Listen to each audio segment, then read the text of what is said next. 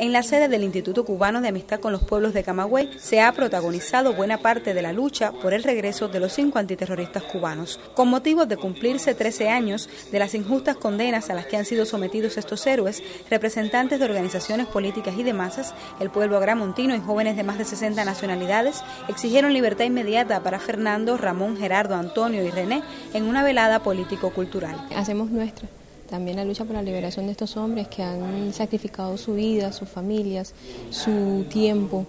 para poder garantizar a Cuba pues la libertad y la paz más la tranquilidad que disfruta este hermoso país. Los presentes no solo reafirmaron su solidaridad con los cinco, también resaltaron la resistencia y valor de los familiares que esperan su regreso, a la vez que expuesto el compromiso de continuar dando a conocer en todos los espacios posibles la justa causa de estos hombres retenidos en cárceles norteamericanas. En Camagüey, Jeter Palmero, Sistema Informativo de la Televisión Cubana.